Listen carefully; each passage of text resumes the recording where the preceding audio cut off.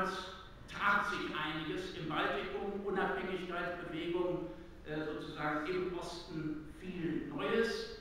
Uns begegnete eine sehr, sehr schöne, historisch pralle Stadt, aber es hat gleichzeitig auch eine Buchveröffentlichung damals gegeben, eine neue, Bernhard Press, Jugendmord in Lettland, und er zeigte dann die andere Realität der lettischen Hauptstadt und wir stießen eben, das haben ja die Jugendlichen dann eben sogar noch vom letzten Herbst gesagt, aber damals war es noch deutlicher, im Ghetto das meiste erhalten, wirklich. Und dann eben im Wald von Bikenecki, 55 Massengräber haben wir damals gezählt.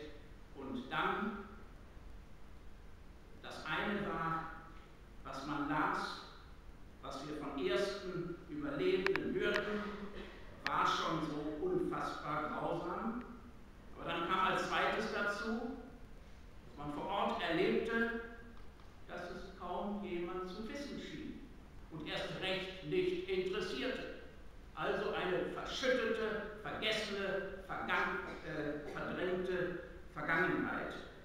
Und das also eben Anstoß, um davon hier zu berichten. Ich möchte dann in meinem Vortrag in folgenden Schritten vorgehen, wobei also eben ich natürlich kann, was die Schülerinnen und Schüler hier also schon gezeigt haben, was wir an Bildern dann auch draußen in der Ausstellung sehen. Also zunächst mal kurz die äh, Schritte zur Deportation, dann zweitens die wichtigsten Orte des Nazi-Terrors in Riga und als letztes schließlich, wie nach 1945 mit dieser Geschichte eben in Lettland, in Deutschland umgegangen regarding